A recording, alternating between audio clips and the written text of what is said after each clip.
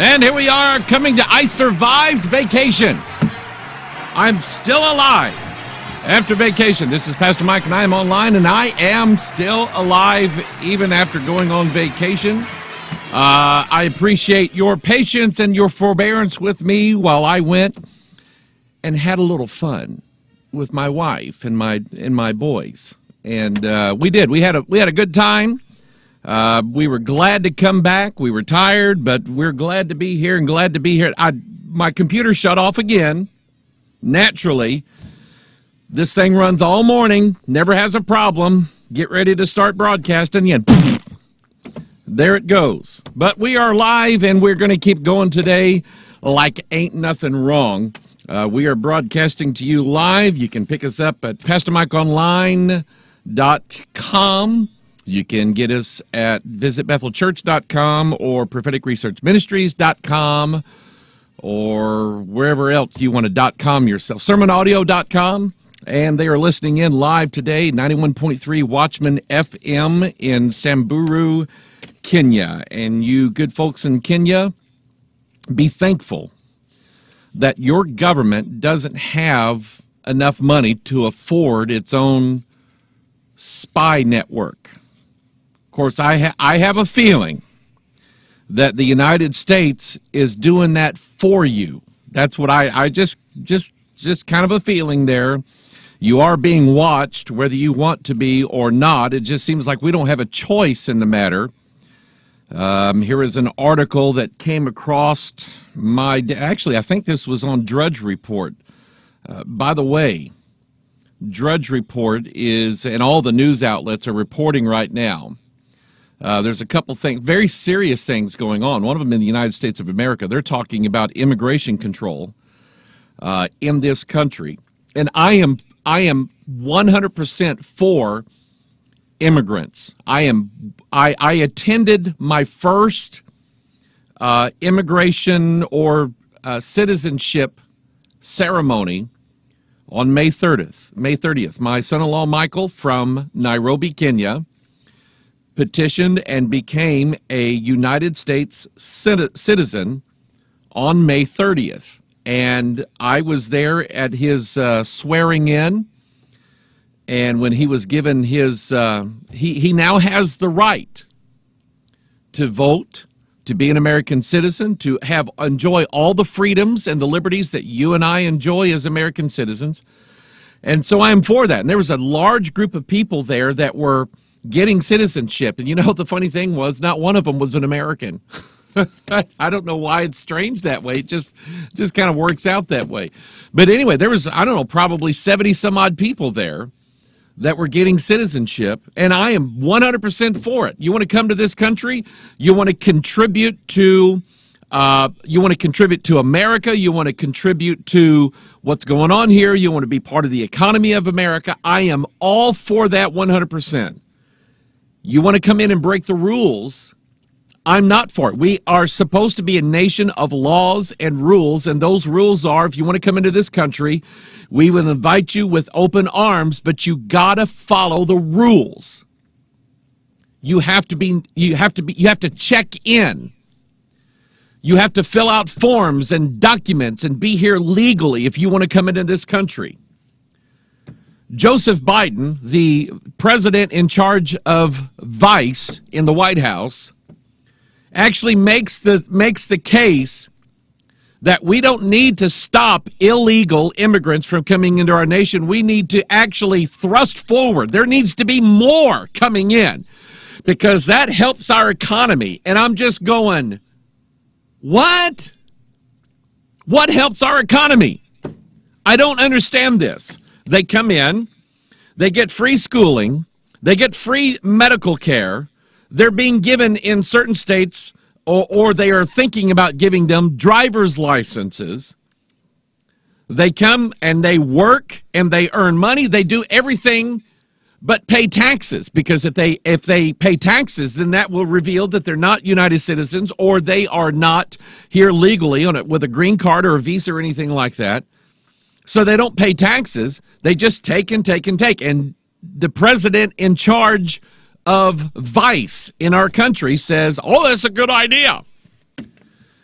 And I, I think that history, but not only history, the scriptures reveal this is not going to turn out well for what we hold sacred and hold true in this country, the United States of America. It hasn't turned out for any other nation in the world, and it's not going to work out for us. Again, you want to come to this country, you want to be who you are, you want to bring your food, you want to bring your ideas, you want to bring your philosophies in. You're welcome to it. Do it legally. That's one of the things going on. And the other thing that's going on is the failed, um, and I'm not a political expert, I'm not a man about town on international affairs, but I have the firm opinion that the the um, international policies of the Obama administration in this nation has been proven over and over to be an absolute failure. And people should have recognized this the moment that he became president when he goes on the I'm sorry, we're America tour, bowing down to all the leaders of the world, bowing down and kissing them and, and, um, and humiliating himself in front of them instead of saying, Hi, we're from America. He goes around bowing to them. And so now what's going on in Baghdad is exactly what we did not want Maybe I, maybe maybe some people did. I don't know. But right now in Iraq, one city after another is falling to guess who?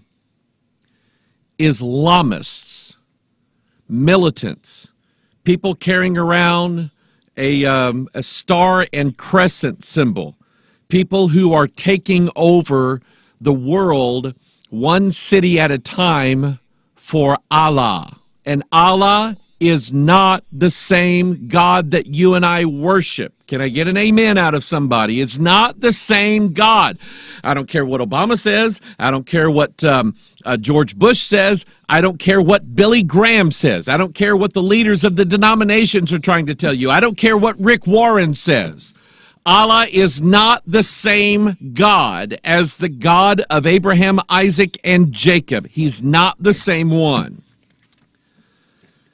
and they are they have proven themselves the Islamists, the militants. Um, and and I'll say this: we were in Orlando, Florida, and um, I mean I'm from the Midwest, and I've got Midwestern values, and and we're sort of in the middle of the country, so we're secluded from a lot of things. We don't see a lot of things that going on that go on in the rest of the world, especially on the coasts of America. And I just noticed being in Orlando for over a week there's a lot of people in Orlando that talk funny. They don't sprechen the English. And there are a lot of Muslims either living in Orlando or Orlando or just visiting Orlando. There's a ton of them there. We had two uh, we we rode on a plane and both of our stops were in Detroit. And I went to, I can't remember what desk it was at the Detroit airport. And there was a woman there wearing a wearing a burqa, wearing the head covering. And I'm looking at her and I'm going, You don't look Arabic. Maybe I'm just, I don't know, maybe I just, but you don't look Arabic. But she had the burqa on Nonetheless, when I got up to her and was talking to her, she spoke to me in American English, no accent whatsoever, none. She was from Detroit. Um, or as some of the people call it up there, Dearbornistan. Because in Dearborn, Michigan, one of the outlying areas of Detroit, the Islamists have pretty much taken over that whole town. They did it on purpose, by the way. And they are going to force Sharia law into that area if they haven't done it already, and you can see the inroads of Islamic Sharia law being made in the United States of America. The, but here's this young lady, and she is not Arabic. She's not from the Middle East. She doesn't have an accent. She doesn't have the look. She doesn't have the olive colored skin. She doesn't have anything like that. She was born in America, and she looks like she was a young lady wearing a burqa, which means that she was she had probably married a Muslim Or she just decided, you know what? Being chained to a couch with 71 other women, that sounds like a lot of fun for me, which is the Islamic version of heaven or paradise. I don't understand what draws women into Islam. I don't get it. Because if you're a woman, number one, you're a piece of property. And Sharia law and Islamic law is all about your husband beating on you until you submit to him. And possibly him having the right to kill you in the streets for doing something like talking on a cell phone. Then, if you happen to survive that and you are going to be in paradise in under Islamic law, under the Islamic scriptures, then your lot for all of eternity is to be chained to a couch and have an Islamic man sleep with you repeatedly over and over and over and over again. That's what that's what Allah promises you women. I just I it just threw me. I don't get it. But the Islamists are taking over the nation of Iraq. That ideology, that militant, we hate America ideology, is taking over in a place where we had established bases all over that country when we put down Saddam Hussein. We built military bases here, there, and everywhere. Now we have a, a central place in the Middle East where we can launch if we have to. And the Islamists are taking over. And my question is, what are we doing about it? And they are taking over. They take over every nation that they can get their hands on. They're working on Kenya right now. I saw that when I was there. They're coming uh, from the north out of Somalia, and they're just moving their way in. And these, I've been around some of these Islamic men in Kenya. Very arrogant, very cocky, very hateful people. They're not nice to us non Islam or non Muslim people. But anyway, this article that I got from El Drudge Reporto, Google buys Skybox Satellite Company to become, and this is what the article says, to become the all seeing eye in the sky. Now, I did a video, what was it, a couple of years ago called The All Seeing Eye Surveillance Society and the New World Order. And I have this theory. Let's do this. Let's get out our can, our fresh can of King James and let's open it up to Isaiah chapter 14. Let's find out what's what's going on here. I'll read this article. You turn to Isaiah 14. I'll read the article.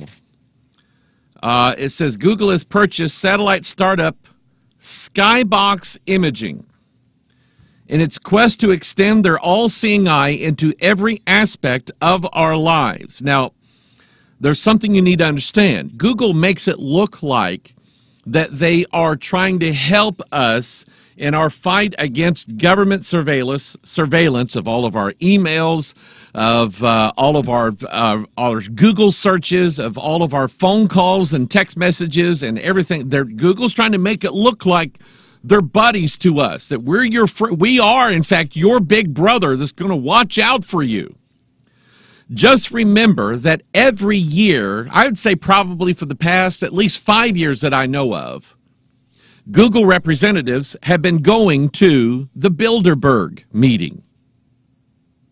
Why? Because of the agenda of the Bilderberg meeting. And Google goes, and some of the high ranking leaders of this country goes, and other countries they all show up there. They meet in secret. Nobody can know what it, what's being talked about there. But if you, uh, and I did a video on this one too, Bilderberg, the, the true story. And all you need to do is know these different people from these different corporations, from these different things that are showing up there. The Bible reveals to you what the agenda is. And so here is Google now buying a satellite company. Google has billions and billions of dollars at their hands. And how did they get that money? Because you don't pay money to do a Google search. but somebody else does when you do a Google search, and that is advertisers. And Google is on the front line, the cutting edge of the technology of knowing precisely what you personally want in life. They know everything that is technologically, how can I say that? Technologically knowable about you. And they're they're looking for they're always looking for new ways to increase their knowledge about you. What are they using this knowledge for? What are they doing this for? Um, and we'll look at the scriptures here in a little bit. I have a theory. The article says on the surface, Google says that they plan on using the new technology as a way to keep their Google Maps up to date. Yeah. But those who are aware of their military industrial complex ties think otherwise. Over the past few years, Google has quietly entered into a relationship with the Pentagon and DARPA, Defense, uh, something defense projects. Can't remember what it, what, it, what it means. Anyway, to become one of their biggest contract suppliers of technology and information. Google acquired robot maker Boston Dynamics last year and is fully invested in creating battlefield cyborgs. Those are robots, by the way, to supply to the government. Now, again, and there's an article that I'm going to read here that goes along with this, something that Ray Kurzweil said just recently that um, every movie that I've ever seen in my life about robots learning how to do warfare never turns out good for the pesky little human carbon based life forms that are on this planet. It never turns out good. Think Skynet. Think of Arnold Schwarzenegger. Think of I'll be back. Think of the Terminator. Think of um, iRobot. Think think all of these things. All of the fantasy and sci-fi writers, when they started introducing the idea that robots were going to be as smart as humans, it never works out for the humans. Never does. Think about war being perpetuated now and, and I want you to think about this. What is it that causes an army that's involved in a war? What is it that causes that army to either retreat, surrender, um, or say, you know what, we give up, we're done, we, we're going to lose the war? What is it that causes that to happen? It's the defeat of its soldiers. If its soldiers are being massacred on the battlefield and it's and it's just costing more and more and more human lives of soldiers then that particular army says we can't do this anymore. We're, we're giving up. We can't fight you anymore. We're retreating. We're going to change that we're going to put soldiers on the battlefield now that are not human. They're just machines. They're pieces of property. They're manufactured in a factory somewhere. And if we lose this one, we'll manufacture more and we'll put them out there. So, what would be the interest in any one giving army who has robot soldiers on the battlefield? Would they ever stop fighting as long as they had the ability? To keep making the robots? Would they ever give up? Would they ever surrender? Would they ever quit? Things like this are only going to perpetuate war and make them worse. They're not going to make them better. And there is now in today's world, and never has been, there is no such thing as a war where only the soldiers get killed. That doesn't exist. I love my country, but the United States of America is probably one of the world's worst at killing civilians in the name of the war on terrorists. I don't I don't think we're doing a good job here. But anyway, the article talking about battlefield cyborgs to supply to the government. They also spent 3.2 billion dollars to get Nest, a company that makes a smart thermostat and can also track your every movement inside your home. You remember now, in a lot of places in America, there is a robot watching you go to the cho that is The word cho is Swahili for toilet, commode, potty, bathroom, outhouse, the John, the loo. There is a computer, there is a robot that is watching you go to the bathroom. Why? Because some people don't flush the toilet when they go. And I've been in places in Kenya where that's really not a problem, flushing the toilet. There's nothing, there's no handle. There's no, there's no handle hovering over the hole in the ground. So it's not a problem. They don't flush out there. But that's what they're doing. Robots know when you're done. And when you're done, they flush the toilet for you. And we get so used to that, we think, uh, we don't think anything of it. And these robots are watching us use the bathroom. Now we're going to put them in our houses. They're going to watch us do everything. Track your every movement. These are only but a few of the recent purchases that Google has made. When started out, what started out as a totally geeked out company who created a really cool search engine has become a fully mature, cold as ice, and all invasive surveillance organization locked in with the Pentagon and monitoring our every move. When fully operational, Google's new Skybox satellites will provide the NSA with high resolution full color pictures and video of everywhere we go and everything we do. Why? Isaiah 14. You want to believe in conspiracies?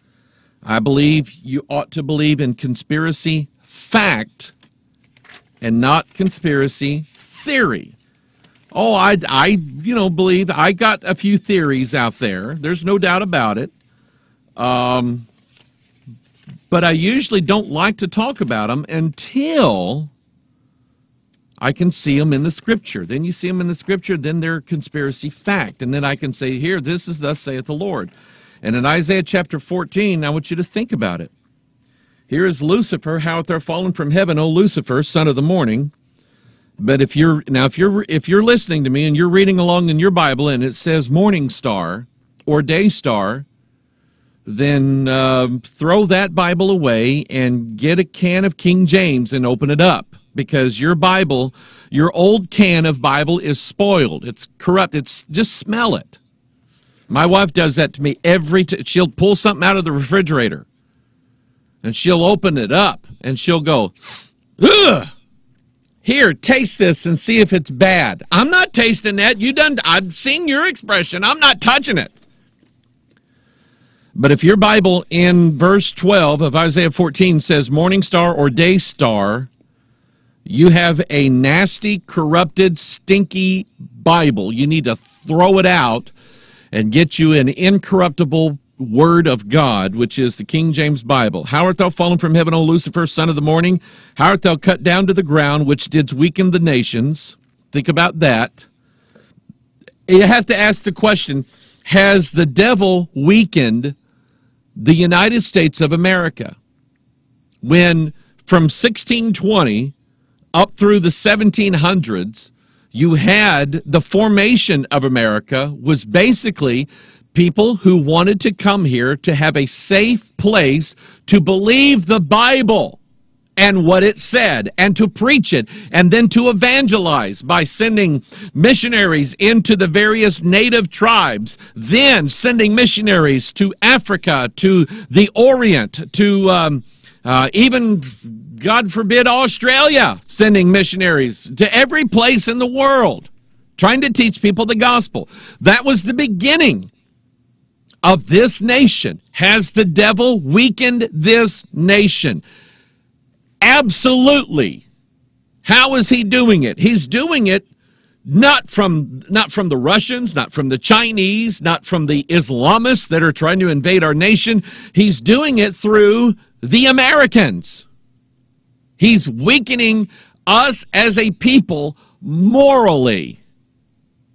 And God refuses to bless a nation who turns out as bad or worse than Sodom and Gomorrah.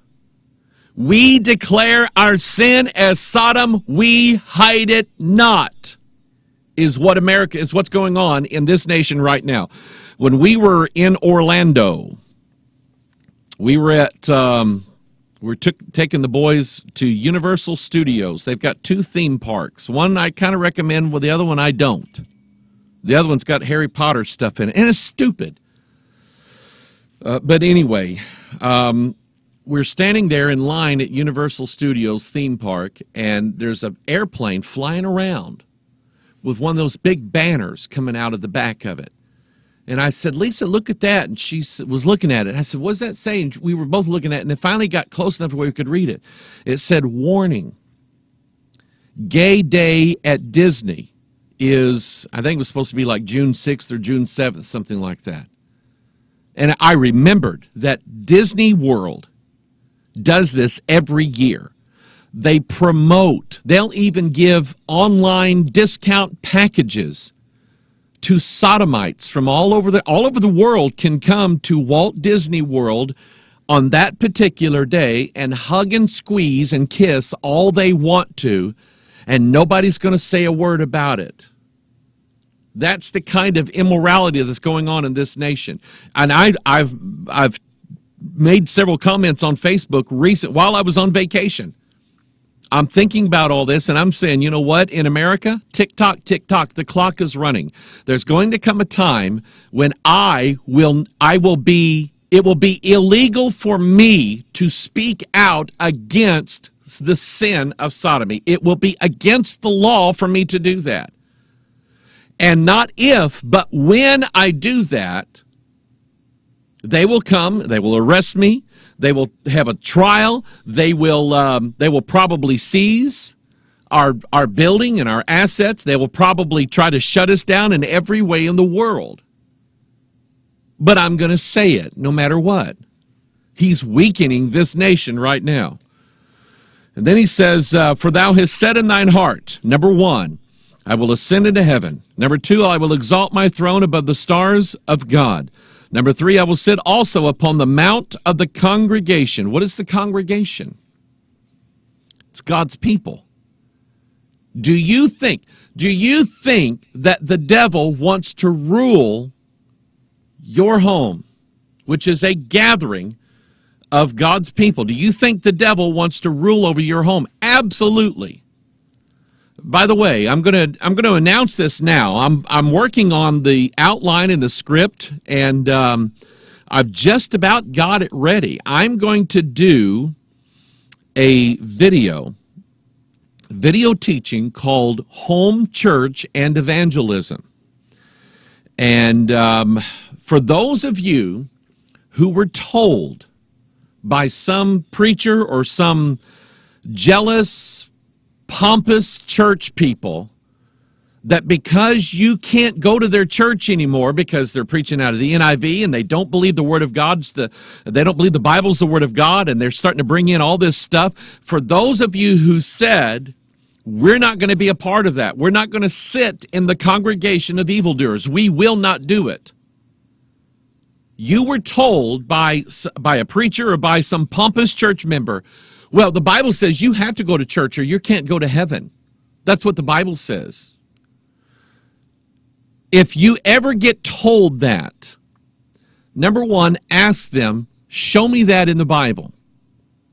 Show me where I have to go to your church building so I can be right with God. That falls under the same category as these people these Seventh day people who say, God said you had to go to church on Saturday. God said so. And because you don't go to church on Saturday, you're not really saved. You're not going to go to heaven because you have the mark of the beast on you because you go worship on Sunday.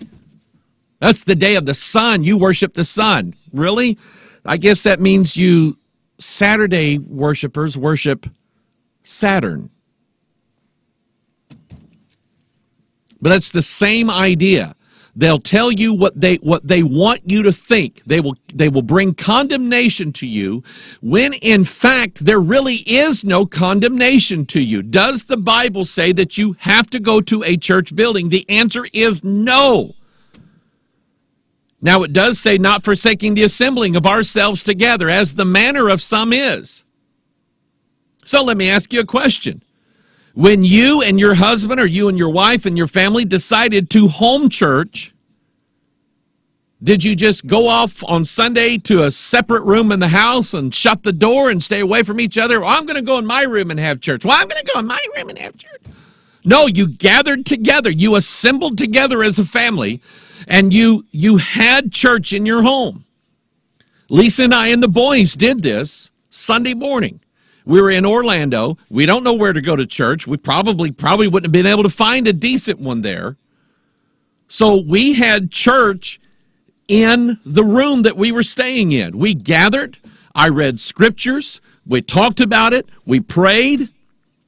And then later on the day, we're listening to Reg Kelly talk about biblical separation. And I'm just going, man, that was a good message. Boy, I really needed that. But I'm going to make a video teaching from the scriptures alone that shows you, number one, why you should in some cases, you should home church, not in every case. I know, and I know I'm kind of chasing a rabbit here, but that's all right. I went a week and a half without chasing any rabbits. Some of you, and I love you. I love you. I do. I, I, I care about you. I, I want you to know the truth. I want you to be established in the present truth. I want that for you, and I want that for your life. Some of you don't go to church simply because you're too rebellious in your nature. You've decided that if the preacher doesn't speak the little phrases that you want him to say, that he's a bad preacher. He's a he's probably 501c3. That's his problem right there. He's he's under the IRS. IRS is telling him what to do, and I won't have any part of it. Some of you have just made up in your mind what it's going to take to satisfy you and you know for a fact that there aren't probably any preachers in the world they're going to tell you exactly what you want to hear so you've just decided well i ain't going to go to no church i don't have to go to church churches are evil that's not even in the bible. Pastors are evil. That's, that, that guy gets paid. He shouldn't even get paid. Some of you had invented stuff in your mind. And the reason why you don't go to a church somewhere is not because there's not a good one around. It's just that you're so rebellious in your nature that you just you just you're not going to be under anybody's authority. And i'm telling you god put bishops in this world as pastors to bring protection to you and to your family. That's what the scripture teaches. God said i will give you pastors. I'll give you watchmen. I'll give you pastors that will teach you the truth. There's one guy on youtube hates my guts. I mean he hates my guts. And I heard him say, heard him make a statement one time. He said, uh, "Yeah, I used to think Hoggard was good. I used to think some of these other preachers good, but I'm telling you, there's no there's no good preachers out there anymore. They're all they're all gone. There's no good preachers out there anymore." And I went, "That's unbiblical. That is in total contradiction to what God said and God promised." But that's what you've decided. You've decided that there are no such things as good churches anymore. So you just won't go anywhere and you just do your own thing. And that also is unbiblical. And by the way, and then I will say this in your defense if that is you and you are you have a rebellious nature and you know that there isn't going to be a preacher in the world that's going to satisfy your lusts then i think you are doing the right thing by staying out of churches because you'll do nothing but cause a lot of trouble but there are families out there, there are people out there. You love the Lord, you love the Bible.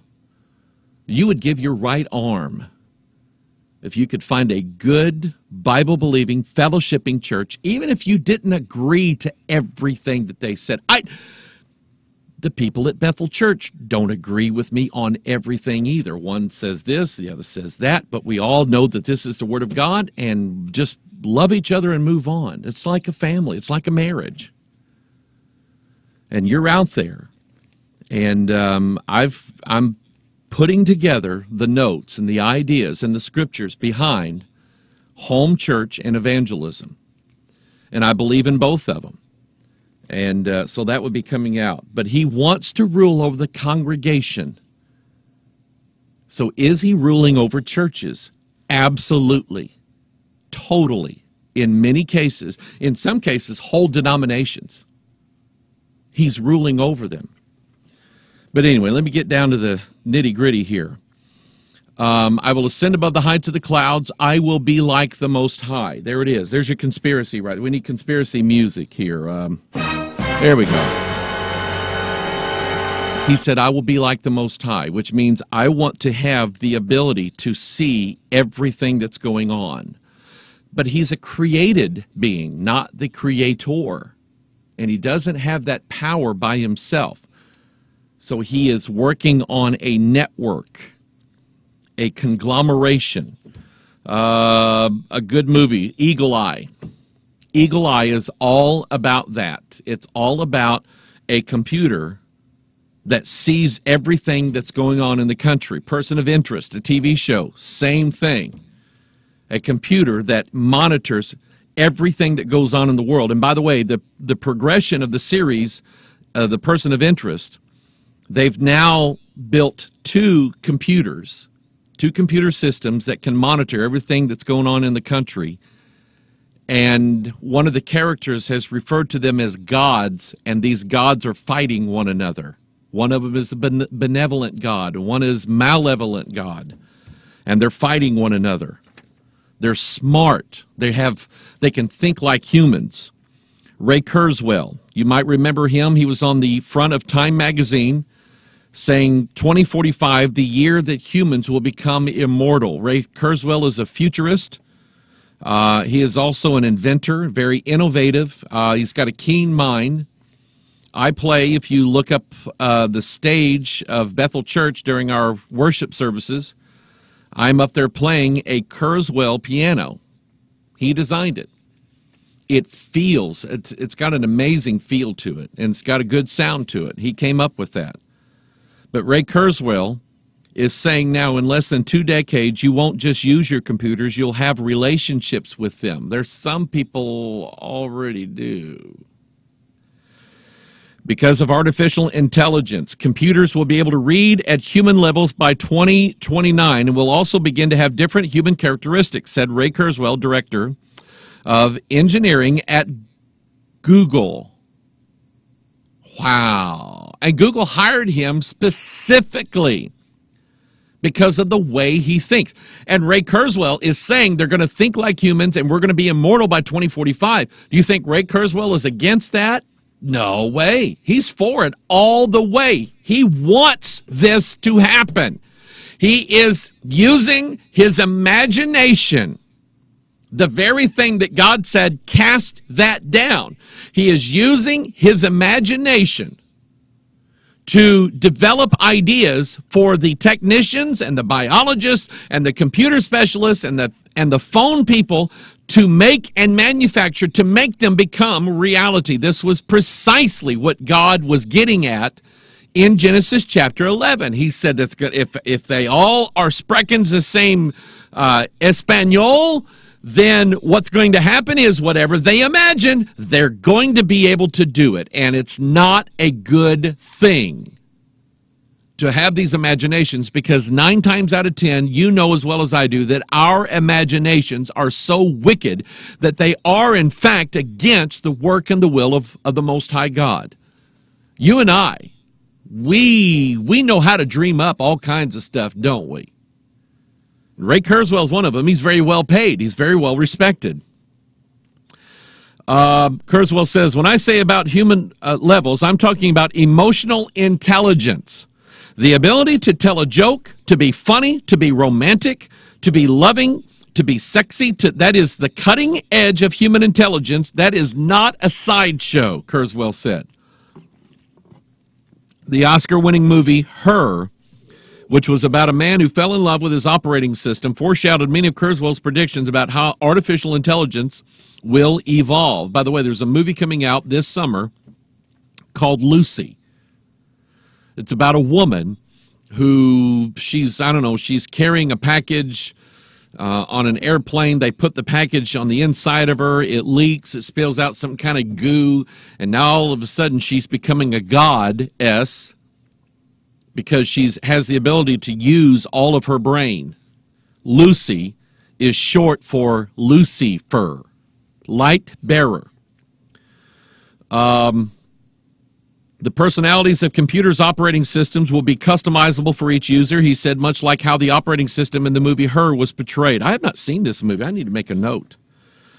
Computers will also provide a way for humans to expand the range of their brains via the cloud, Kurzweil said. In the future, people will be able to directly connect their brain to the cloud so that they can expand their knowledge and memory. You know what that is, don't you? Cloud computing is the in thing, man. It's where everybody is. I'll be honest with you. I am using cloud technology right now.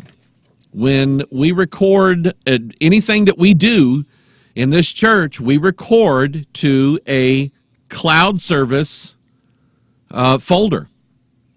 I am recording Pastor Mike Online right now to a cloud service folder that syncs, synchronizes with other computers. In this in this group jazz has a link to it. She can go what she does is after i'm done and it's uploaded she then pulls it and puts it on whatever she does with it.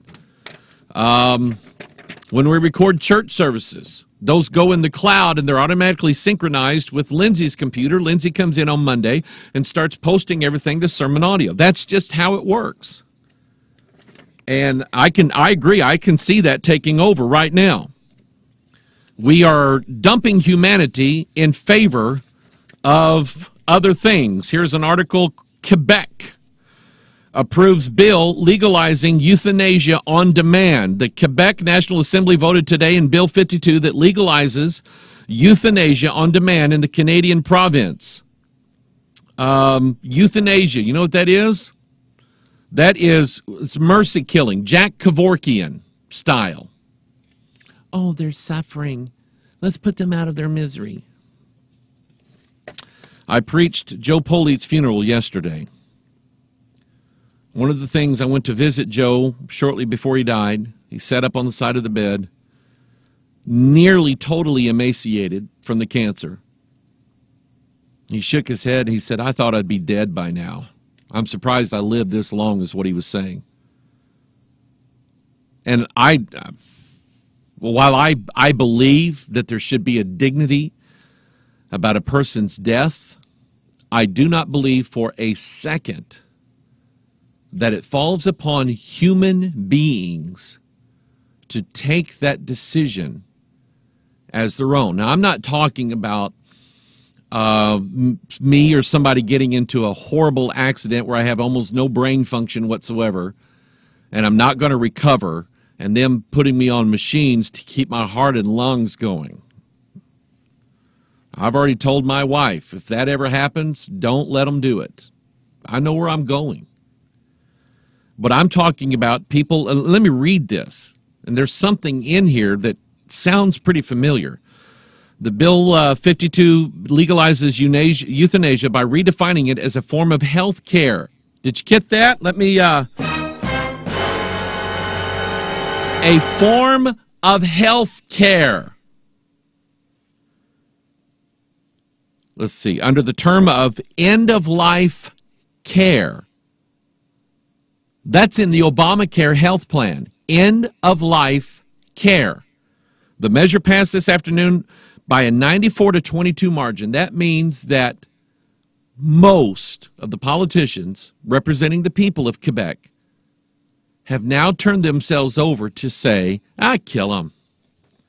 They're better off dead anyway with no abstentions. Alex Schadenberg, executive director of the Euthanasia Prevention Coalition, stated, Let's be clear. Bill 52 gives Quebec physicians the right to intentionally and directly cause the death of persons by lethal injection. This represents an act of homicide and not an act of end of life care. By the way, the idea of end of life care is in the Obamacare law end of life care. And when you hear people talking about it set up death panels, and of course Obama says that, oh, no, it doesn't set up death panels. He's lying through his teeth. It is a known ideology amongst the elite in the world that they believe that they should have the right to decide who lives, who dies, who breeds. Margaret Sanger, the, the queen of abortion, the founder of Planned Parenthood, Hillary Clinton receives the Margaret Sanger Award and praises Margaret Sanger. I just love Margaret Sanger. Margaret Sanger is my favorite president. I've modeled my life after Margaret Sanger.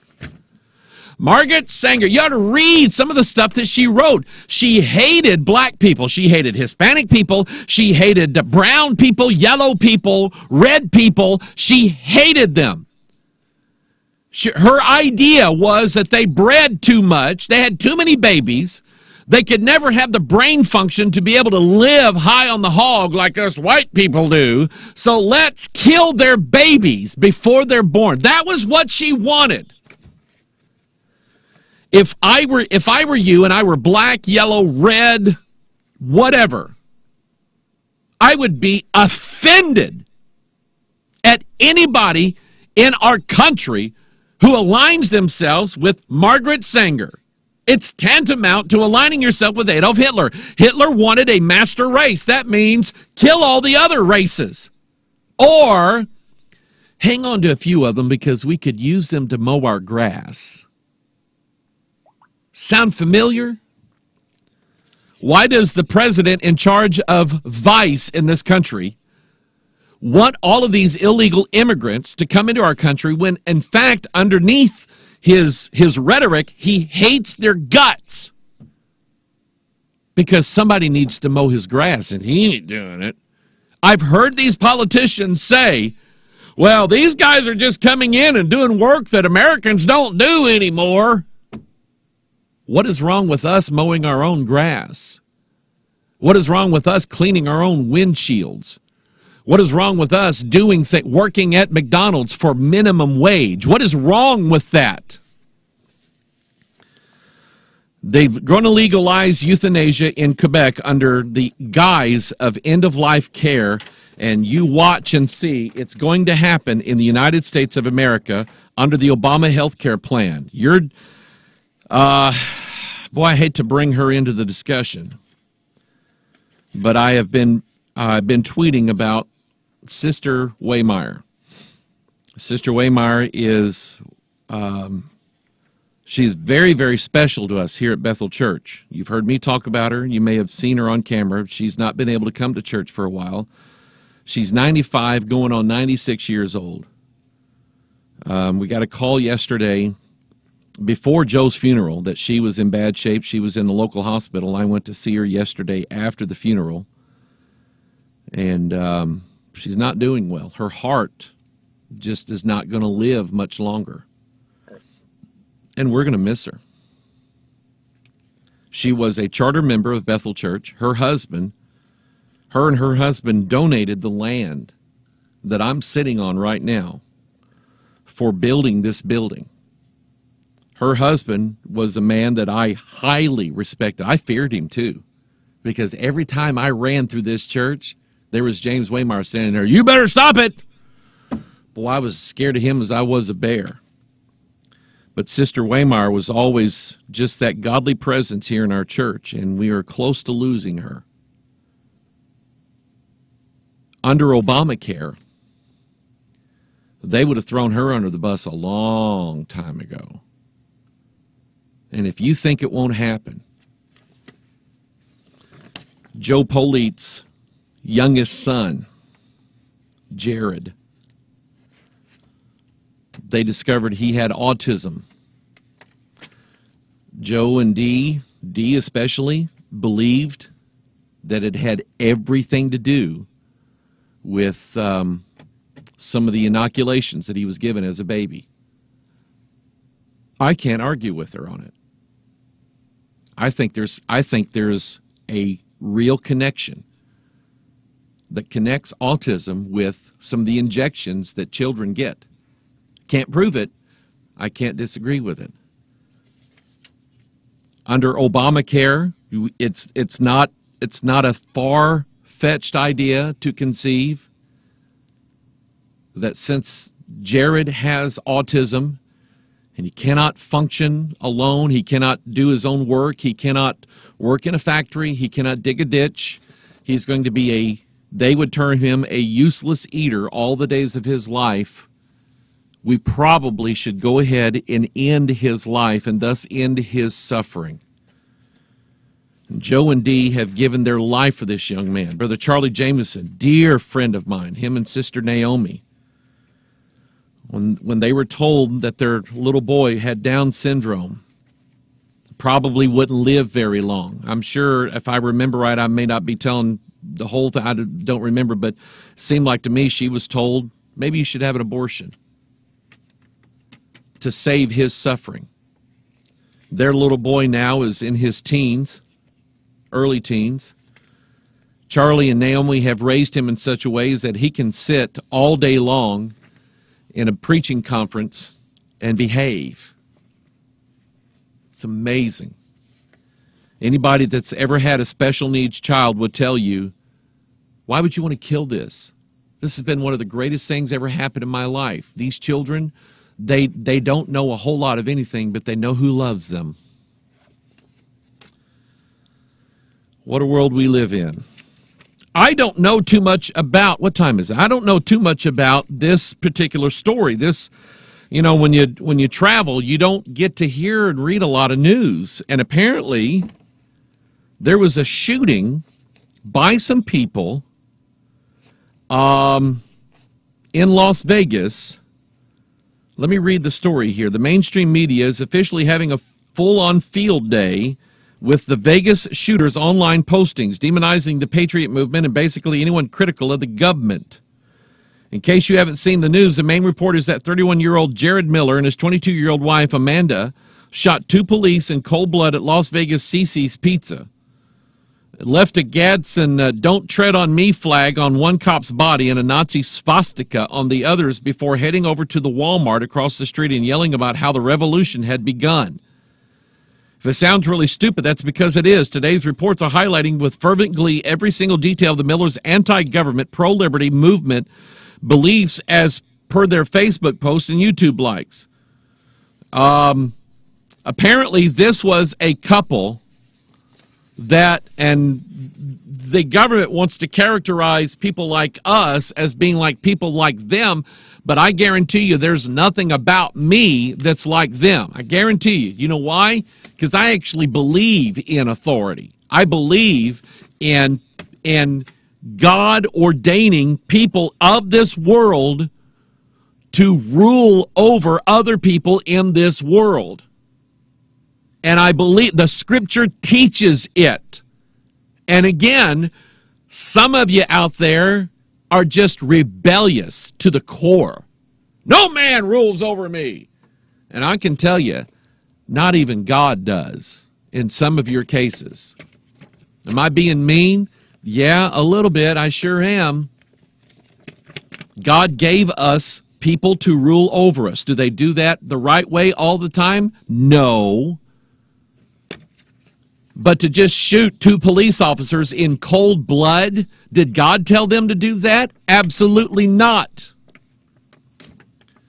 Does God want us to fight for and and retake this country and I don't know that that's how it's going to turn out. I don't know that that's what God wants.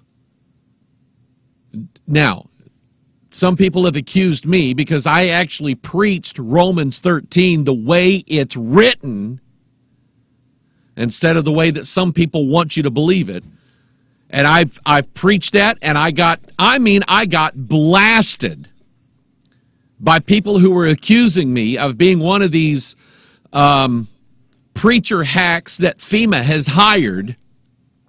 That when it all hits the fan, I'm going to tell all the listeners out there when the FEMA bus comes by, God said, get on it. That's what I've been accused of. It's ridiculous. Absolutely ridiculous. FEMA doesn't have buses. What is wrong with you people? Let's see. We need a, uh, where is it? There we go. No, I won't do that. But I will tell you that when a police officer pulls you over, asks to see your driver's license, show him your driver's license. When he tells you you were doing 80 in a 65 zone, I'm going to write you a ticket. Don't spit at him. Don't tear it up in front of him. Don't say, ah, down with the New World Order. Go pay the ticket. You were driving too fast. Obey the laws, people. Now, if that law tells you you have to murder your unborn child, you don't have to obey that one. If that law tells you you cannot preach Jesus, you don't have to obey that one. If that law tells you that you better not say anything about sodomites, you don't obey that law. Where man's law makes you or forces you or tries to force you to break God's law, then you don't obey man's law. But if man says, pay your taxes, then you should pay your taxes. If man says, pull over, you should pull over. If man's authority tells you to do something that is lawful according to the scriptures, you're bound to do it. We don't believe in anarchy in Bible Christianity. We don't believe that I am I am sovereign before God and no one can rule over me. That's not biblical. It's not there in the scriptures. And again, I'm not a FEMA hack. I'm not being paid by the IRS or any other government entity to tell you or try to trick you. No way, no how. But I'm just telling you, some of you need to get your Bible out and read it. Read, read a few more chapters. It won't hurt you. You might just find out that God has a better way for you to live. Boy, I'm going to get emails on that one. I just know I am. By the way, if you'd like to write in during this Pastor Mike Online live broadcast, Pastor Mike Online at gmail.com. Uh, but anyway, the Vegas shooters and I have absolutely nothing in common whatsoever. But that's how they're trying to paint us in this world right now. And you and I know it. You and I know that at some point they're going to trash the Constitution and then force everybody into, or, or maybe that's how it's going to happen. I don't know how it's going to happen. But I will tell you that that when it comes down to it, you and I should be like uh, who was it, Peter and John, who, when they were told by the Sanhedrin, "We do not want you to preach in Jesus' name ever again," they said, "We ought to obey God rather than man." And that's exactly what they did. They went out teaching and preaching Jesus Christ everywhere they were. Not a bad thing to do. Let's see what's on everybody's mind today. Uh, let's see here. Friend in PA says Pastor Mike, I've been trying to expose Margaret Sanger for years. However, even when I use quotation marks and quote Sanger directly, I get a barrage of hate directed at me. They attribute her words to me pandemic stupidity. Thank you for your tireless efforts to get us to open our eyes and pay attention. I appreciate that friend. AJ, what's up, AJ? It's, he says it's interesting you mentioned a movie about Lucy. Considering I just saw this on Facebook feed today. Uh, let's see here, Lucy in the Sky with Diamonds. I don't know if I should should I click on that, AJ. You're not trying to infect me with a virus, are you? Uh, ooh, deep in the constellation of Centaurus lies a star 50 light years away from the Earth. This star is so unique that astronomers nicknamed it Lucy. Lucy. Wow. It's a bright star that they called Lucy Fur or something like that. Lucy. Uh, AJ says also, I've been really burdened about euthanasia, and that's why I'm so interested in going to the Netherlands and Belgium to witness because they have the most liberal policies on euthanasia in the world. Uh, John from the Netherlands, if you're watching or listening to this, send me an email. Let me know exactly how they deal with this in the Netherlands. AJ, I appreciate you writing that. Uh, Dan the man says, "Hi, Pastor Mike. Hi, Dan. How you doing?" Um, hi, Pastor Hoggard. This is from Vicky. Um, the um, the Las Vegas couple were also at the Bundy Ranch too, but they were asked to leave as they had radical views. I appreciate you sending that in as well. And here's a here's a link to it. Debbie sends in says rampaging couple booted from the Bundy Ranch as being too radical. They're not like us. Do I carry a gun? Yes, I do. I carry a gun. Uh, by the way, by the way, on our way back from Orlando, my mom calls and says, Where's Lisa? Said, well, she's standing next to me. We're in the, what, Mom, we just got through the TSA line. And she said, Oh, you guys haven't left yet? I said, No. She said, I was afraid Lisa was at Walmart. In the Festus Walmart, there was a shooting. Two thugs were trying to shake down and rob a guy in the bathroom at the Festus Walmart. And they shot him. They shot him. The bullet went through his hand. You could you could probably guess he was doing something like that. Bullet went through his hand and into his face. Didn't kill him. Uh, he's being treated local hospital right now. They caught those two rascals, and I told my mom. I said, "Mom said, boy, I was thinking about going to Walmart today. Boy, I'm glad I didn't go to Walmart." I said, "Mom, they ought to be glad I didn't go to Walmart today because I carry. And if I would have been if I would have been near that thing, I don't I'm not trying to be Barney Fife, Mr. Tough Guy. There by the way, there was a here's a here's a a very valid interesting idea about home security and um, using weapons to protect your home. A young girl, teenage girl in St. Louis, in a neighborhood, going out to her car at night to get some items from her car. Two thugs walked up to her. One of them put a gun to her head and was going to usher her into her house.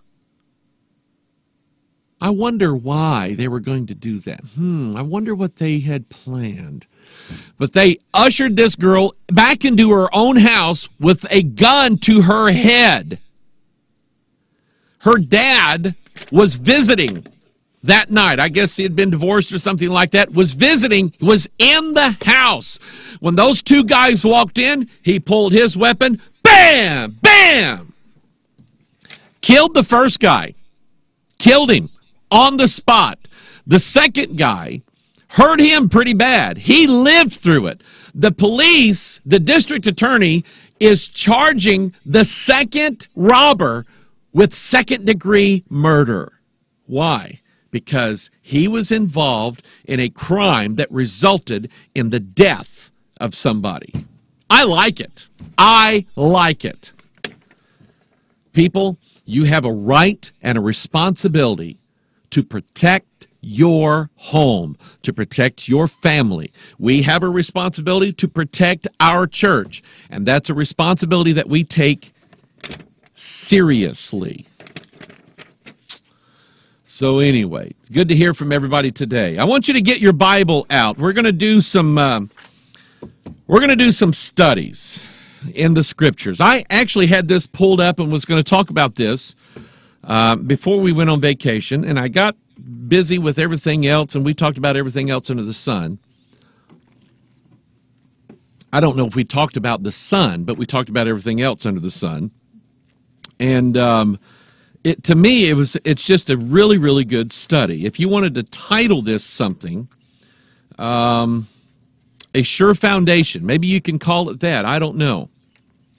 But when it comes to when it comes to studying the Bible, when it comes to understanding the scriptures, when it comes to formulating ideas uh, about, let's say, about Bible prophecy, about doctrine, ask, and here's, and this gets me in trouble. And there's some people out there that, I mean, they really don't like me. And there, some of them say, oh, we use King James Bible. They don't like me. You know why? Because I say, you know what? Don't you think you ought to at least question the doctrines that some churches have? Don't you think that you should do that? Are we I, I know that I know that when we when we belong to a church, according to the book of Hebrews, uh, what is it? Hebrews 13 is that you are to when you are attending somebody's church you are to submit yourself to that man's authority over you spiritual authority Now, he doesn't have the right to tell you what day to take the garbage out. He doesn't have the right to tell you what job you can have. He doesn't have the right to tell you who to marry. He doesn't have the right to tell you where to go on vacation. And I brought all those up because there are pastors out there who have ruled so harshly over their congregations that no one takes a vacation unless they ask the pastor, "Can we can me and my wife go to uh, can we go to Orlando?" Are they going to be wearing short skirts in Orlando? Well, I don't know. I've never, but oh, you can't go. There are pastors who will tell their people, "Don't you? You better not go there. You better not. Yeah, I, you want to take a vacation? Then go to my backyard for vacation." I'm kind of making that up, but they think they have absolute dictatorial authority over everybody in their church, over every issue, and I, I don't feel. I, number one, I I've not been given that authority over the people of Bethel. I don't think I have that authority. I don't act like I have that authority. But still and yet, as a bishop, as a pastor, God operates through realms of authority. And where there is authority, there's protection. And when you will place yourself under biblical authority, God will protect you. He'll protect your family. He'll protect your marriage. He'll protect you personally. And this is what I believe. But you ask yourself, what does my what does my let's say my denomination what does my denomination teach? What does uh, the group that my church belongs to what is it that they believe? And all i'm saying is there's nothing wrong with asking legitimate questions about why do you believe or why does this church believe what they say they believe? Why do they do that?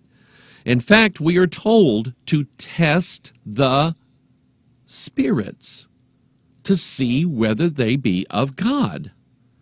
Not everyone who says, Lord, Lord, is going to be in the kingdom of God. And so ask questions, question things.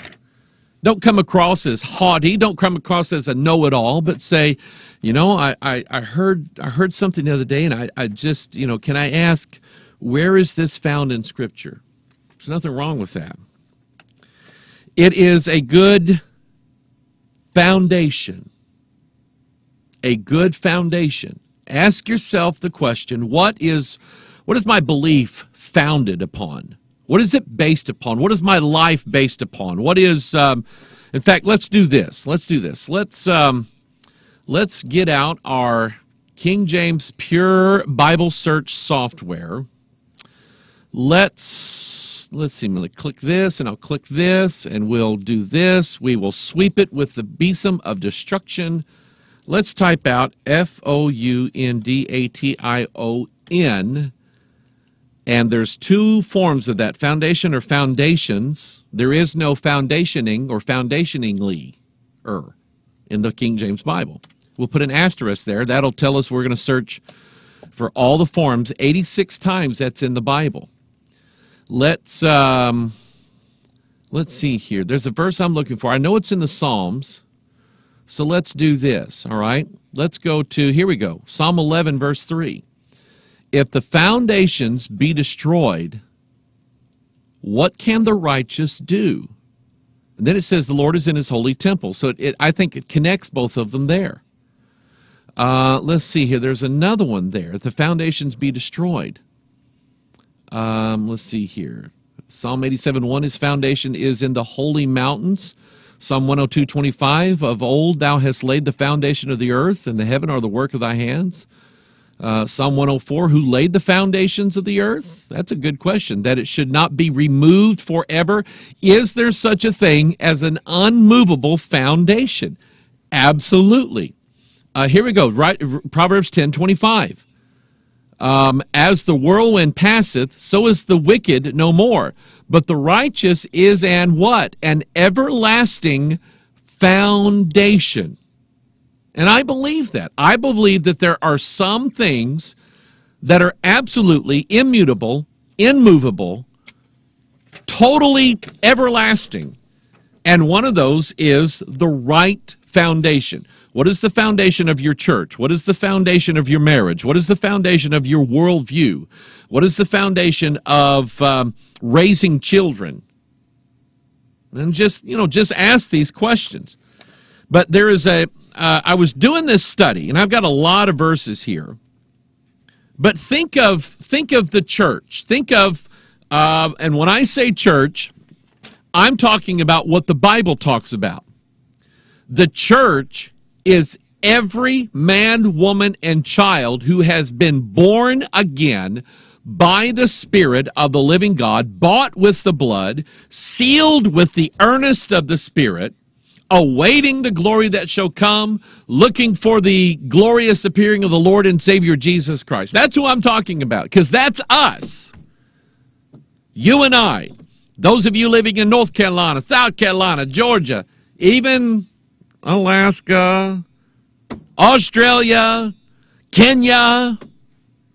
If you are born again, you are saved by the blood, sealed with the Holy Spirit, you are a member of the body of Jesus Christ. What is the foundation of the church built upon? Let me give you a number. This one is really, really interesting. It's a simple number, but it, it as I was doing this study, it keeps popping up.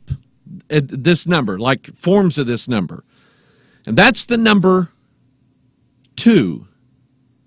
And I want you to think about what the number two means. We go to Genesis chapter 2, and we have a man, and he is divided, and God takes what's from him and turns it into a woman. God, God did not pull the woman out of Adam. There's a there's a doctrine, there's a ridiculous theory that says when God made Adam, he made him a he she just like God is. That's a lie by the way. It's a setup. It's a uh, it's a conspiracy. And it's not true. The Bible doesn't say that. The Bible doesn't say that God was a he, she, and it doesn't say that Adam was a he, she, and then God took the she out of the he, she. That's not what it says. God removed a rib out of Adam and formed the woman and brought her unto the man, and the two became one. It has to do with unity. It has that's what it has to do with. It has to do with um, division God saw the light that it was good, and God divided the light from the darkness.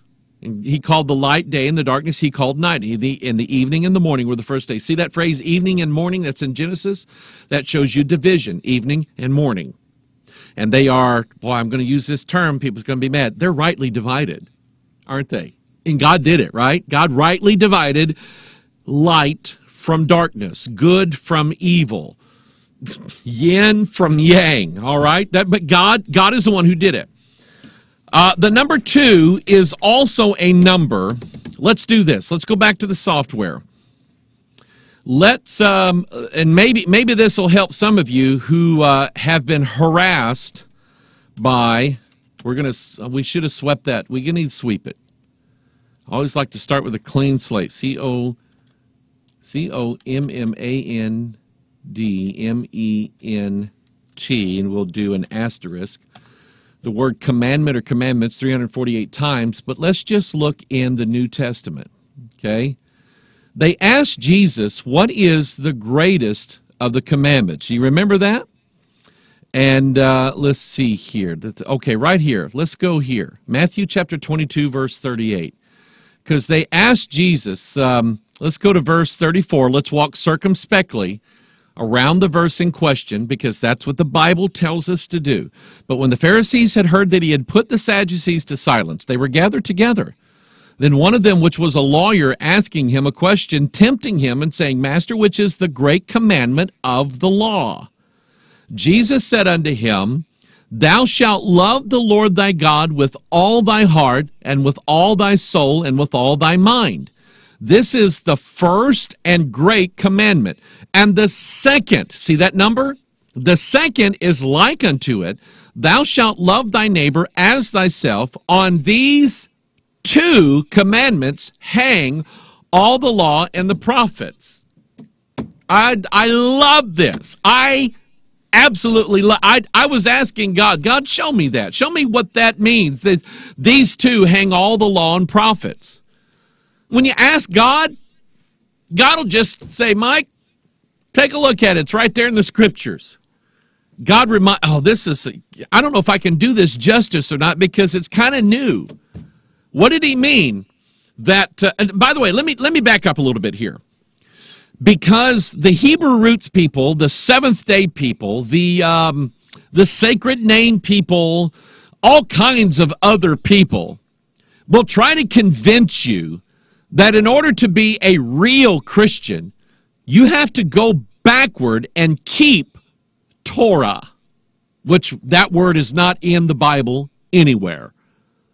But you have to go back and keep all the laws in the Bible. And, and they love to quote this saying, as, as I have kept my Father's commandments, so you must keep my commandments. And they say, see, Jesus said, keep the commandments. Here's what Jesus said As I have kept my Father's commandments, which means that Jesus kept the law perfectly. He obeyed it in every way, he fulfilled it in every way. Jesus now has not 10, two commandments for us. Two, see, the Ten Commandments were the old covenant laws that God made with Israel and said, if you keep the ten, I'll let you live in the land. In the new covenant, a covenant delivered to us not by an earthly mediator, but by a heavenly mediator. In the new covenant, the heavenly mediator between us and God tells us, I have already kept all of my Father's commandments. Now I'm giving you two commandments to keep. Number one, love the Lord your God with all your heart, with all your soul, and with all your mind. By the way, that new commandment Jesus told us, it's actually in the Old Testament. It's there, isn't it? Deuteronomy 6. Then the second one is like unto it. Thou shalt love thy neighbor as thyself. And if you were to look at the Ten Commandments, commandments number one, two, three, four, and let's see, five. Five is sort of transitional. The first half of them deal with obeying God and honoring God. The second one has to do with our neighbor. Don't lust after your neighbor's wife. Don't steal your neighbor's stuff. Don't bear false witness against thy neighbor. Don't murder your neighbor. And so Jesus said these two commandments. Now, this is the new covenant law, the New Testament law. It has very little to do with what we have the ability to do as far as keeping the Old Testament law, it's actually based upon a feeling, an emotion, a desire, love. Love the Lord your God with all your heart. Love your neighbor as yourself. And then he said, On these two hang all the law and the prophets. Now I'm going to show you what that looks like. I'm going to show you the example that God showed us in the scriptures. Do you remember when Moses? Uh, let me let's look this one up here. There was Aaron and a fellow by the name of Hur, H U R. Oh, we got to look in the Old Testament for that one. There we go. In Exodus chapter 17, um, the Israelites were fighting with the Amalekites. And Moses went up on top of a mountain and he took had his rod in his hand and when he raised his hands to heaven the israelites prevailed against the amalekites. But here's and by the way when i raise my hands to heaven what am i doing how do you see a number here? One two three four five six seven eight nine ten. Here's the ten commandments right here. But moses as with you and i cannot hold his hands up for very long. You know why? Because this is like our flesh, it's weak. And God made us subject to gravity. And the law is weak in that it cannot save a person. The law cannot transform someone's life the law's weak, and Moses couldn't keep his hands up. And when his hands went down, the Amalekites began to prevail over Joshua and the Israelites. But when Moses he kind of get his strength back and he would hold his hands up again and the Israelites would prevail. But then it would happen. You remember what we were talking about cycles? There are days when my hands are up in the sky, I'm lifting up holy hands toward the Lord, and I'm just worshiping God. God, I love your law. I love your commandments. God, you've given me a good day today. Boy, I tell you what, I just, I love your law. But then you get weak. And you just can't hold it up anymore. And there are days when the Amalekites prevail over us. If we're going to be honest, that's what we would admit. At least if you don't want to admit it to your wife or your husband or your children or your church or what, if you don't want to put it on Facebook, don't. But at least be honest with yourself that there are days when you just can't hold those 10 up very high, and the Amalekites, they just kind of walk all over you, don't you? But then, you know, you kind of regain your strength. Oh, yes, the Ten Commandments. I love God's law, and I'm keeping God's law. And then you get weak again. I can't do this. So what happened? Hey, Aaron, you and her come up here. No, not her. Her. Not that. Let that girl alone. Bring her up here. No, H U R. Aaron, get up here. You know what I'm talking about. Quit playing with me. So Aaron and Hur walk up there, and they set Moses down upon a rock. I love that. And Aaron, one, and Hur two, take Moses' hands and hold them up for him. So now all the law is hanging on the two. Isn't that cool? Isn't that neat? We have two laws. Love the Lord your God with all your heart, with all your soul, and with all your mind. Love your neighbor as yourself. These are the two laws. These are the two things that the church is built upon. This is the foundation of everything that we believe, everything that we teach, everything that we are supposed to do as God's people on this earth. It's the two love the Lord your God and love your neighbor as yourself. Now, I keep mentioning this number two because I'm going to start reading some scriptures about the foundation of the temple. And I want you to listen to this. In fact, take your Bible, turn to Ezra chapter 3. All right, Ezra chapter 3. When we read this, you're going to see a bunch of twos in here. Now, Ezra is about rebuilding the house of God, the temple. Think about that. Think about Christ coming to reign in Jerusalem for 1,000 years, and he's going to dwell in a temple not made with hands. I don't know what you think about the, the, the, the temple of Christ's second coming, but if you think that it's built by the Rockefellers, or you think it's built by the Southern Baptists, or you think it's built by the Independent Baptists, if you think it's built by human hands out of human materials, you're wrong. It's not. God won't dwell in it. He dwells, he doesn't dwell in temples made with hands. Christ, like Moses, pitches his own tabernacle. Just think about that. So, this is about the rebuilding of the temple in the last days. This is a prophecy here in Ezra chapter 3. Listen to this. Now, you'll see this number two here. And, you go, and there's some other things you're going to see in this that you're going to go, oh, that's pretty cool. Never thought of it that way. Watch this now. Ezra chapter 3, verse 6. From the first day of the seventh month began they to offer burnt offerings unto the Lord. But the foundation of the temple of the Lord was not yet laid. Think of the foundation. Now, in verse 8, now in the second year of their coming into the house of God at Jerusalem, in the second month, began Zerubbabel the son of Shealtiel and Jeshua the son of Jozadak and the remnant of their brethren, the priests and the Levites, and all they that were come out of captivity into Jerusalem, and appointed the Levites from 20 years old and upward. Are you seeing this so far? We have the second year that they came back from captivity. In the second month, now they're going to pick everybody from the Levites 20 years old and upwards. See that number two there? By the way, think of this. Think of the third day, prophecy. After two days, he will revive us. On the third day, we will live together in his sight. That's Hosea chapter 6.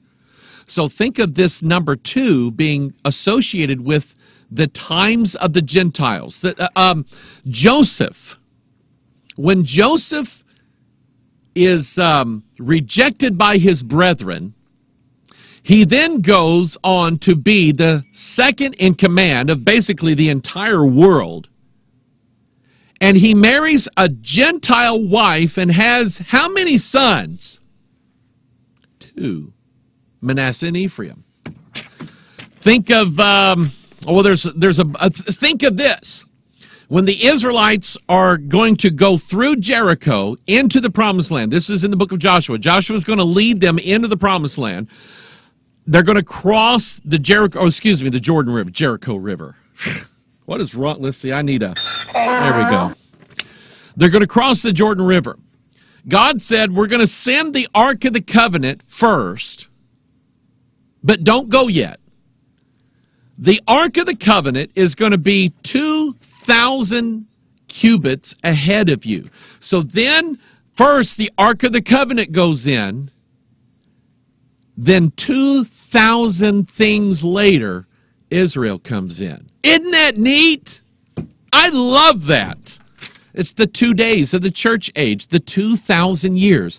It's the time when the two commandments rule over God's kingdom. Love the Lord with all your heart and all your mind. Love your neighbor as yourself. So think about this. From 20 years old and upward, uh, there's to set forward the work of the house. So we're back in uh, Ezra chapter 3. Um, let's see here. Look at verse 9. Then stood Jeshua with his sons and, and his brethren, Kadmiel and his sons, the sons of Judah, together to set forward the workmen of the house, the sons of Henadad with their sons and their brethren, the Levites. Now look at verse 10. When the builders laid the foundation of the temple, think of something in the New Testament that talks about laying a foundation because these things are going to click. This, there's a mate to Ezra chapter 3 in another place in the Bible. None shall want her mate, the Bible says. So they laid the foundation of the temple of the Lord. They set the priests in their apparel with trumpets. Can you think of anything in the Bible, in the New Testament, that has to do with trumpets? Think about for the uh, Lord shall descend from heaven with a shout, with the voice of the archangel, with the trump of God uh, Paul said, 1 Corinthians 15, we should not all sleep, but we shall all be changed in a moment, in the twinkling of an eye, at the last trump. For the trumpet shall sound, the dead shall be raised incorruptible, and we shall be changed. Here we have, they're going to lay the foundation of the temple, and when they do, they're going to blow the trumpets. I love this. And the Levites, the sons of Asaph, with cymbals to praise the Lord after the ordinance of David, king of Israel. And they sang together by course in praising and giving thanks unto the Lord because he is good, for his mercy endureth forever toward Israel. And all the people did what? Look at that. Look at look at your Bibles. Look at this. And all the people shouted with a great shout. I need to uh, here, I need to do this. Let me click this. Here we go. And all the people shouted with a great shout. What are we listening for? What's going to happen? The Lord shall, shall descend from heaven with a shout and with the sounding of the trumpets. That's what Ezra chapter 3 is pointing you to. It's pointing you to the time when the foundation of the house of the Lord is, the foundation has to be laid first. Then the building is going to be set on top of the foundation. Christ is going to build his temple on a foundation that has already been laid. Think of that. I'm just, I'm quoting New Testament, man. We're going to get to it in a little bit. So they shouted with a great shout, and when they praised the Lord, because the foundation of the house of the Lord was laid.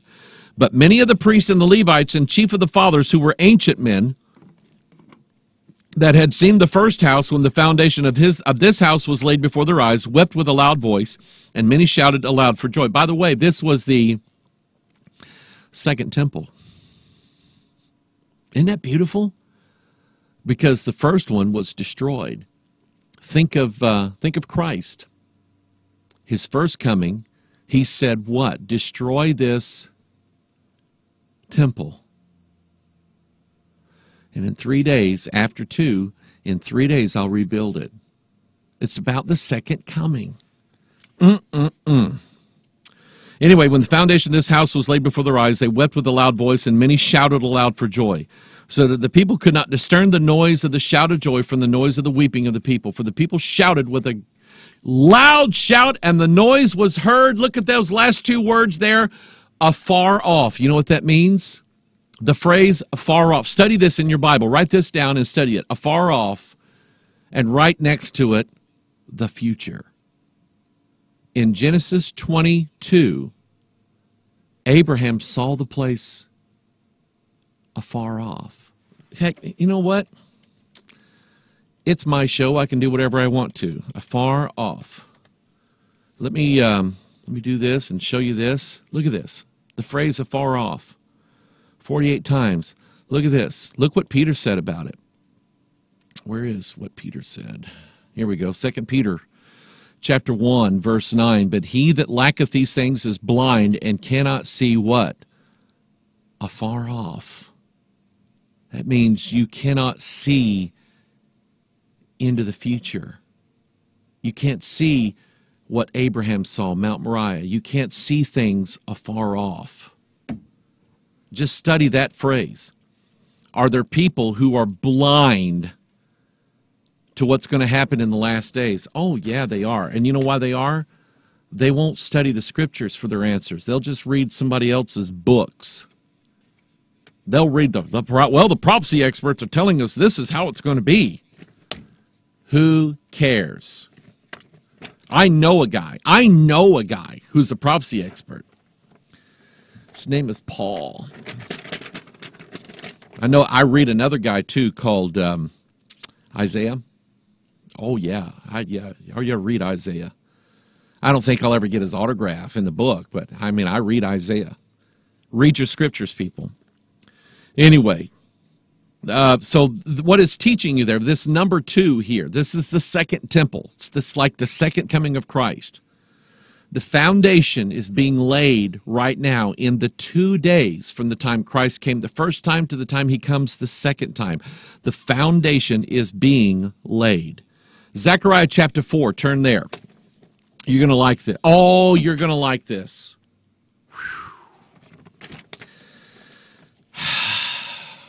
Some of you are going to like it. Some of you are going, Hoggard's an idiot. Zechariah chapter 4, verse 6. Then he answered and spake unto me, saying, This is the word of the Lord unto Zerubbabel. You know what the word of the Lord is? It's your King James Bible. This is the word of the Lord unto Zerubbabel, saying, Not by might, nor by power, but by my spirit, saith the Lord of hosts. You've heard that phrase, right? Not by might, but not by power. What is that in relation to? It's in relation to the building of the foundation of the Lord and building his temple, building his house. It's not done by might and by power, not how these Egyptian giants built these pagan temples called the Great Pyramids. That was by might and by power. God is going to build his temple by the Spirit.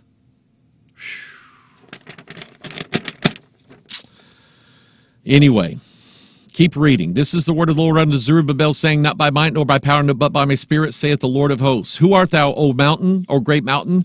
Before Zerubbabel thou shalt become a plain, and he shall bring forth the headstone thereof with shoutings. There it is again shoutings.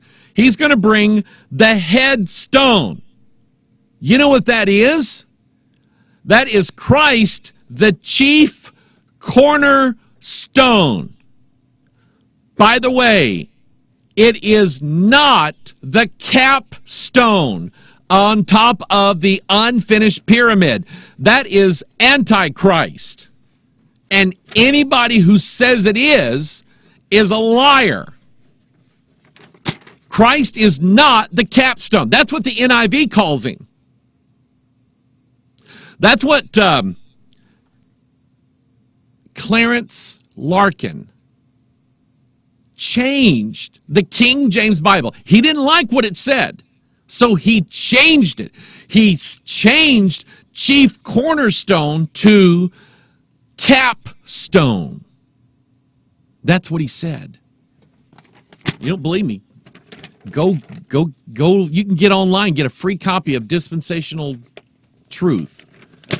He's got a whole section in there about how the pyramid is Jesus Christ, and the capstone with the all-seeing eye on it. That's that's really Jesus, because really the Bible should have said capstone, not chief cornerstone of the foundation. Let me keep reading here. He shall bring forth the headstone thereof with shoutings, crying. Look at that word there, and notice how many times it's mentioned. Grace, grace. Unto it. The headstone is going to come shouting, Grace, grace. Now, there's some people out there, and I love you. I really do. There are people out there who are trying to tell me and others that when God restores Israel, He's going to make them keep the laws. And they're going to, if the, if the Israelite of the last day has any chance at all in going to heaven, they're going to have to maintain their salvation by works. And they also teach that Peter, the apostle to the Jews, had a completely different gospel, so called, to the Israelites. Now, us, Gentiles, we get grace. We don't have to do anything for our salvation. Israel does. That's what they say. They say that the gospel that Peter preached is works, do works, keep all the commandments, do good deeds, and earn your salvation. But you can't have it by grace. But that's not what Zechariah said. And that's not what Jesus said. The headstone is going to come forth and he's going to be shouting, Grace, grace. Keep reading. Moreover, the word of the Lord came unto me, saying, The hands of Zerubbabel have laid the foundation of this house, his hands also shall finish it. And thou shalt know that the Lord of hosts hath sent me unto you. For who hath despised the day of small things? For they shall rejoice and shall see the plummet in the hand of Zerubbabel with those seven. They are the eyes of the Lord which run to and fro through the whole earth. Who is it? Who is it that John saw that had seven eyes? It's Jesus, wasn't it? He had seven eyes. They're the seven spirits of God. I love this. Now let's look at what the New Testament says. 1 Corinthians chapter 3 verse 10. 1 Corinthians chapter 3 verse 10. Uh, I have a note. I was reading my note here. Zerubbabel is a type of Christ who lays the foundation, then builds the temple with his own hands. And I submit to you, we're going to see this in the scriptures, that Christ is laying the foundation right now in the two days or the 2,000 years of this Gentile church age with the two laws love the Lord your God with all your heart, love your neighbor as yourself. Those are the two commandments that you and I are under. Think about it. Okay? Now watch this. 1 Corinthians chapter 3 verse 10. According to the grace of God which is given unto me as a wise master builder, I have laid the foundation, and another buildeth thereon. But let every man take heed how he buildeth thereupon. For other foundation can no man lay that is laid, which is Jesus Christ. Now, number one, right here already we're seeing that Christ is the foundation headstone, not the capstone.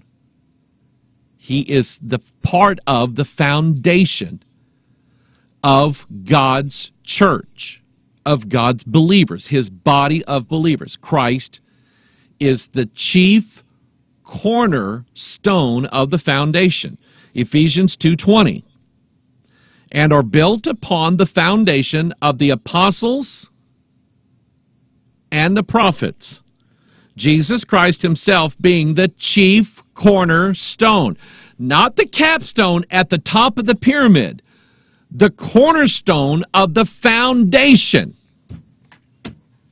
Now, think about this. Think about uh, well, let me let me quote the scripture here, Revelation 21, 14. And the wall of the city had 12 foundations, and in them the names of the 12 apostles of the Lamb. Now, here's another one that you're not going to, some of you are not going to like. Some of you just love the Word of God. You love the Word of God, and when I quote scriptures like this, you're going, Amen. That's the Word of God, man. Some of you don't like this because you've got you've been told, you've been told what to think. You've been told that if you don't think our way, you're not saved. You've been told that if you don't believe our eschatology, you're not saved. You cannot be part of us. Get out of here. We don't want you around. That's what you've been told. You've been told that the Gentile church is only established upon the writings of the Apostle Paul. That's what you've been told. You've been told to ignore the four Gospels, Hebrews, James, 1st and 2nd Peter, uh, 1st, 2nd, 3rd John, Revelation. You've been told to ignore those.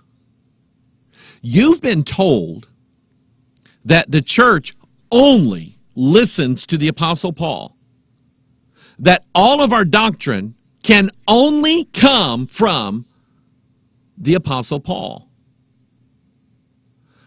That's wrong in so many ways, but I'll give you a few examples of why that's wrong. First Corinthians, take your Bibles, open her up. I'll be using the King James Version for this one. First Corinthians, chapter 1. Uh, and then I'll read this verse I just read earlier. Uh, Paul, I mean, Paul came right out of the chute on these Corinthians. I mean, he kind of was talking nice for a little bit in the first chapter, but then he went after them. He said, um, It hath been declared unto me, verse 11, of you, my brethren, by them which are of the house of Chloe, that there are contentions among you. In other words, contend means to fight. And I can tell you, I've been in church nearly all of my life, and I can tell you, it's it's uh, a, I, I know some people like this. They're just not happy unless there's a big fight going on. I have been in church. I have seen a church. I've seen this church split. When I was a when I was a young teenager, tore me up inside. I respect. I I idolize the people of this church, the grown-ups here. And I had to sit and watch them fighting one another. And it wasn't over doctrine. It wasn't over we had a bad, a liberal preacher.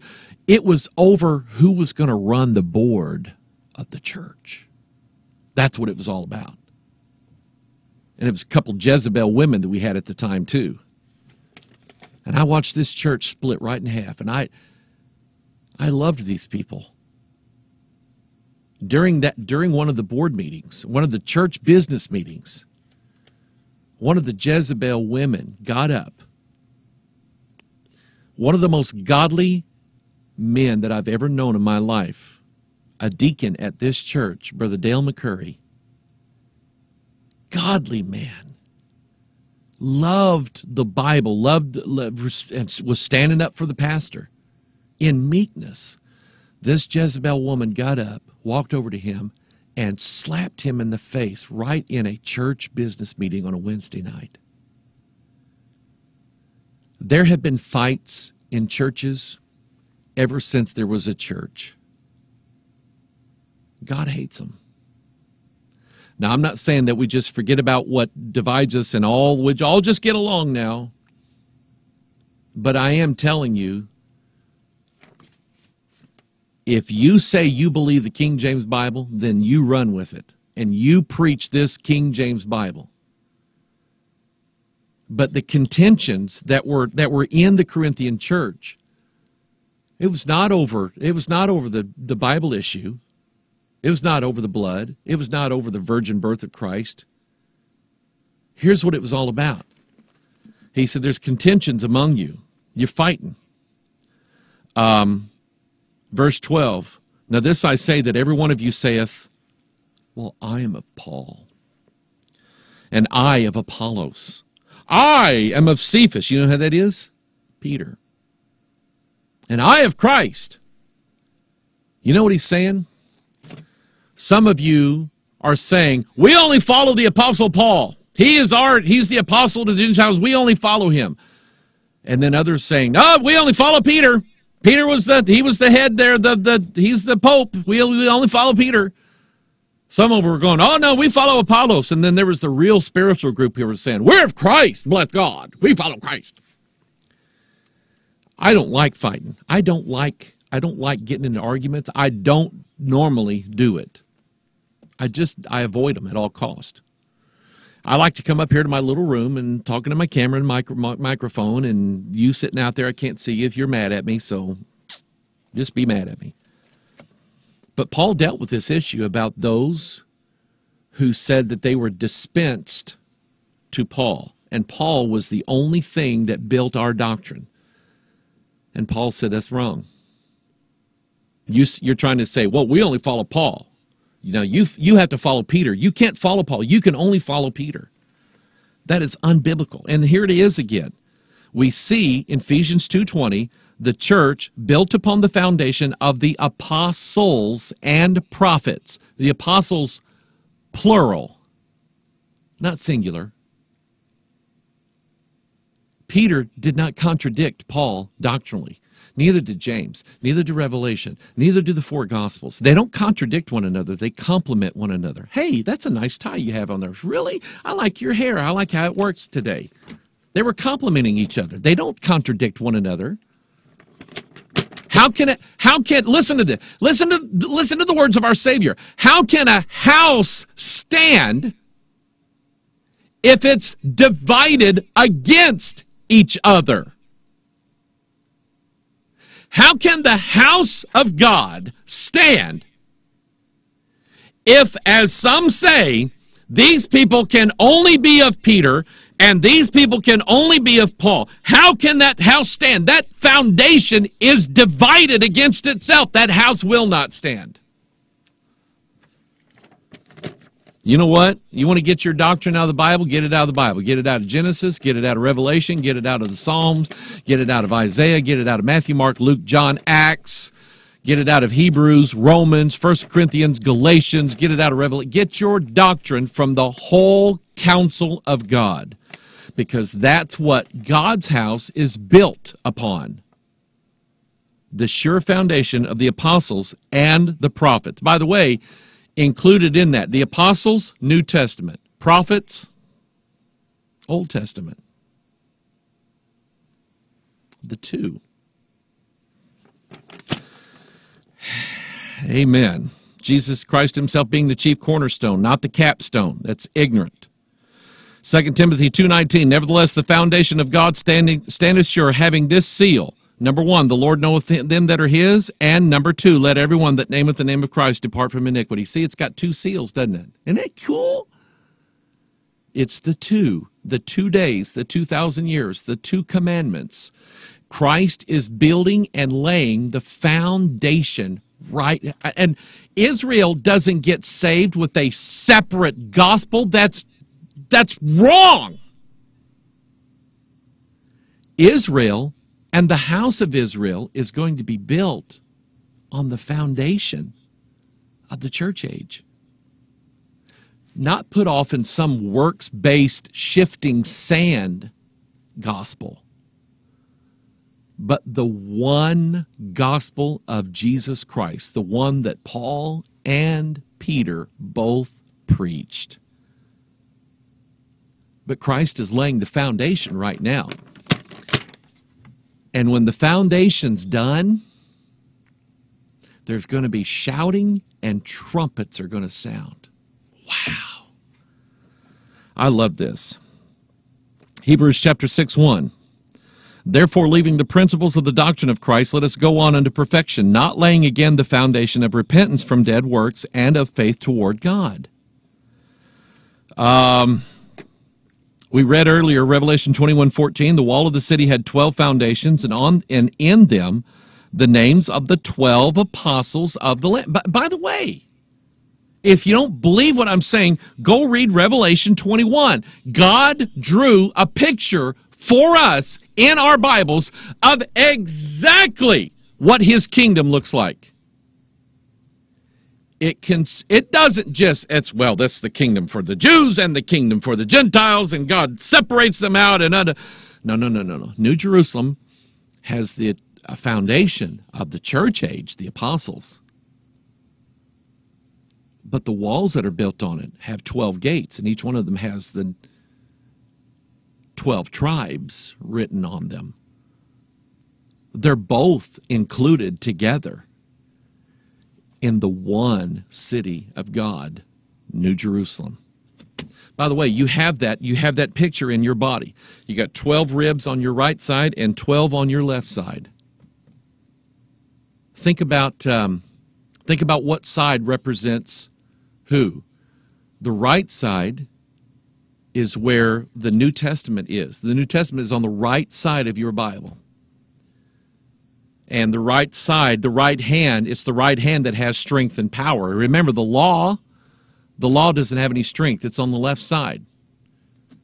So you have 12 bones, 12 ribs, which I think are the 12 apostles of Jesus Christ on the right side. But what about the left side? I think that represents Israel. By the way, where's your heart? It's in the center, kind of, but it's just slightly to the left. Where's Jesus' heart? Who was he really thinking of when he died on the cross? Who was it that Aaron, when Aaron went in as the high priest, he was to wear a shield, a breastplate. And on that breastplate was 12 stones and on those stones was the names of each tribe of the nation of Israel.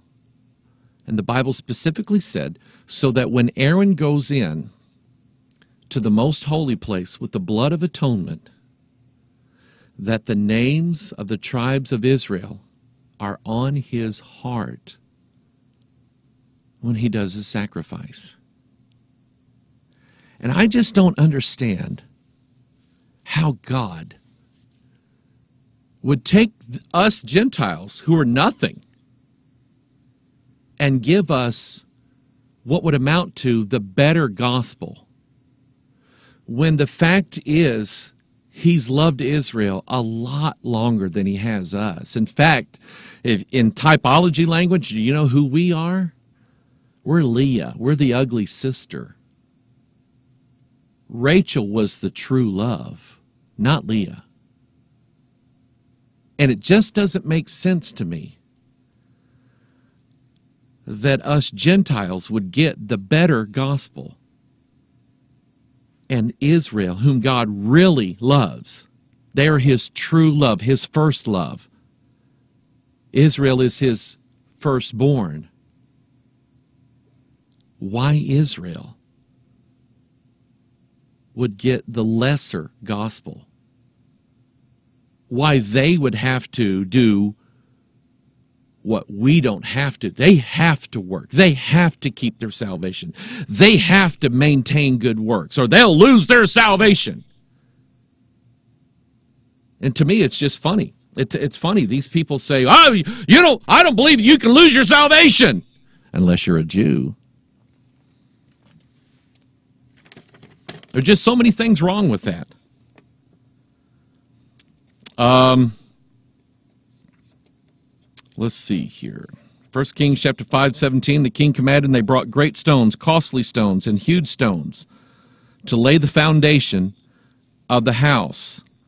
First Kings 5:11 Solomon gave Hiram 20,000 measures of wheat for food in his household and 20 measures of pure oil thus gave Solomon to Hiram year by year. See the twos there? Hiram was the one who built the, the temple. Hiram's name is mentioned 22 times in the Bible, by the way. Um, here's the note that I had Christ is laying the foundation of the apostles and their doctrine during the 2,000 years of the church age, after which he will build the temple of God in the last days. Mm-mm-mm. Now, think of this the Wailing Wall. What's the Wailing Wall? Does anybody know? It's the last surviving remnant of the foundation of the old temple. Guess what is going to happen to that wall? Go to Matthew 24. Because your Savior told you what was going to happen to it.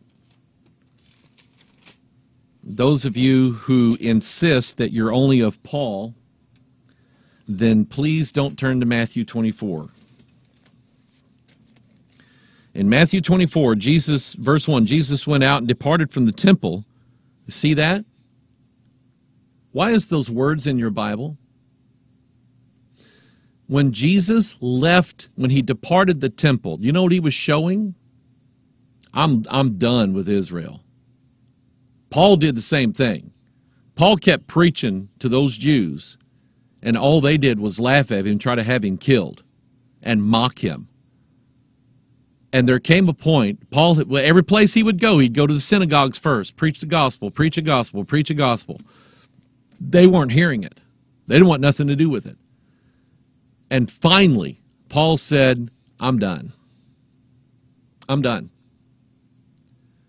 I will not ever again preach the gospel in these synagogues. I will not go to you Jews anymore. I'm going I'm going to the highways and the hedges and I'm going to compel all who would to come in to the marriage feast.